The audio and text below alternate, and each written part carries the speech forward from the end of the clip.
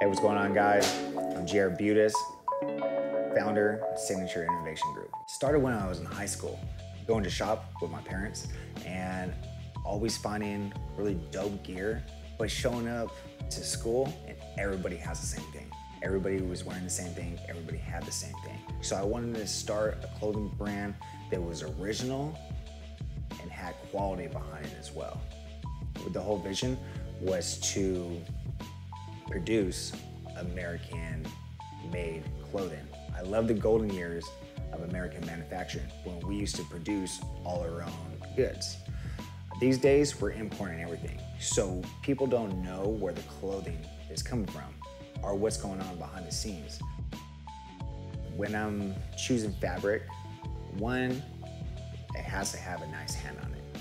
Uh, softness is really, really big to me because I want our customers to feel good when they put on the shirt. Two, I always like to pick fabrics that's not gonna shrink on you. I, I want the customers to be able to buy a shirt that's gonna last them a couple years and the quality's still gonna be there after that.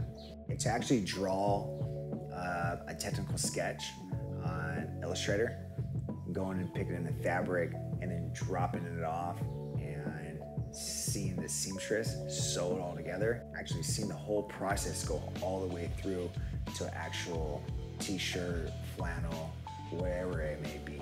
It's just an unexplainable feeling. So what I see in the future for Signature is opening our own retail locations where people can come in and shop and have an experience as well. Sit down, have a drink, and check out clothes. What drives me is owning something um, this is mine. I create it.